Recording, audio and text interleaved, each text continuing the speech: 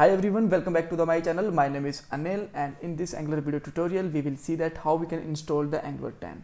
So before going to start with the Angular, I'm just going to tell you that there is two things that must be installed in your system. One is Node and another one is the NPM. So if uh, you already installed them, then that's great. If you are not installed yet, then the both link are given in the description box, one for the Ubuntu and another for the Windows. All right, when you install the Node, npm will automatically install in your system. After that we need to install the angular cli i. Will tell you that with the live example also. But here you can find that uh, i just provide the two links.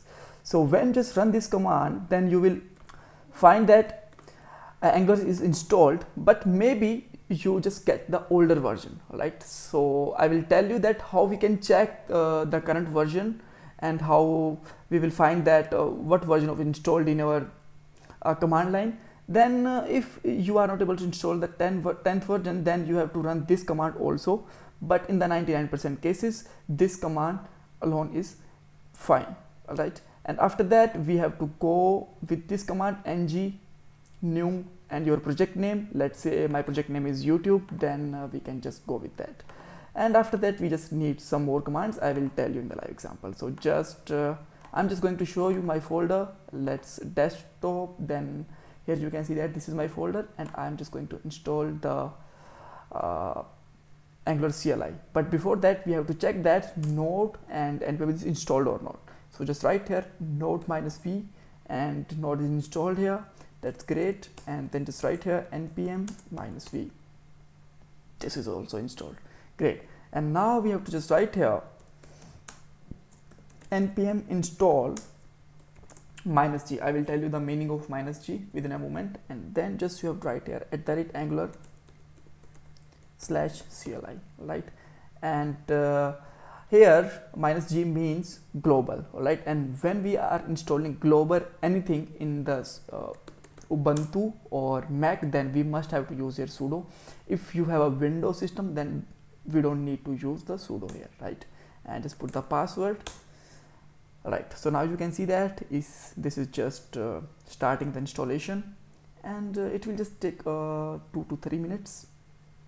So i'm just going to pause the video for a moment. Great.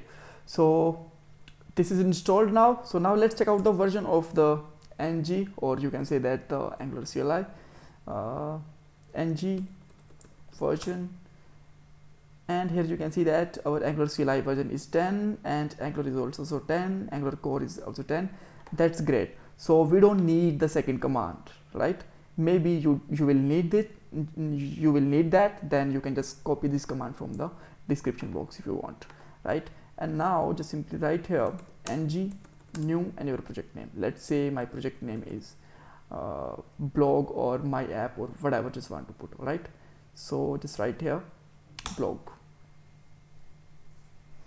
and now it will ask you some question like uh, would you like to add the angular routing and on? Yes i just want to use the routing because i have to make the tutorial on it.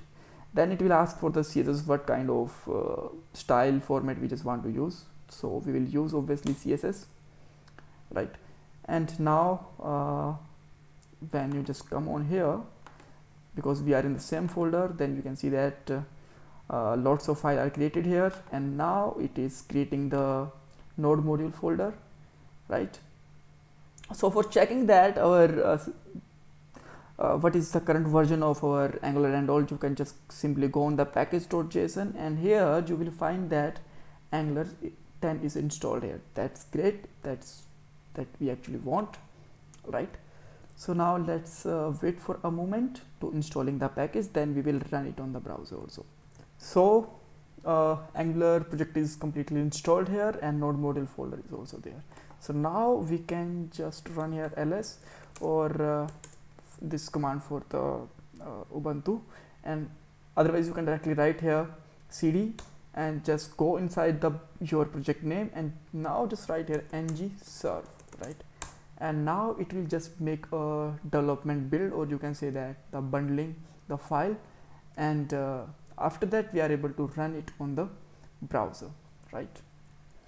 So a dev build is also done here. So now let's come to the browser and just simply write here localhost and 4200 so here you can see that this is uh, completely installed. So if you just want to make any file change then you have to go inside the app dot uh, component.html uh, I will just tell you the first change right otherwise we will learn the everything in the next video. We will see the folder structure and all. We will see step by step but for a moment for your curiosity I just want to show you the first change all right? So if you just we write here hello then you will find that this thing is come here right?